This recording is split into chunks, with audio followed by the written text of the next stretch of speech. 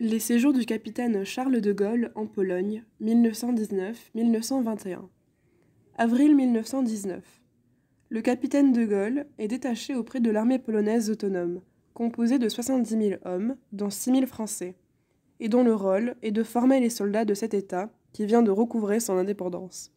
Juillet 1919. Sa mission d'instructeur commence rapidement à Rembertów. Il remarque l'enthousiasme des soldats polonais qu'il décrira dans ses lettres. Mai 1920.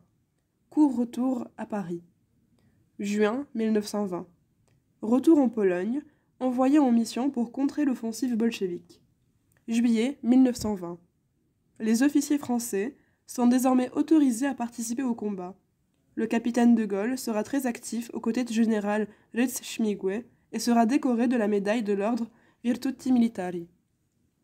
Janvier 1921. Le capitaine de Gaulle revient en France plusieurs mois après la fin de la guerre.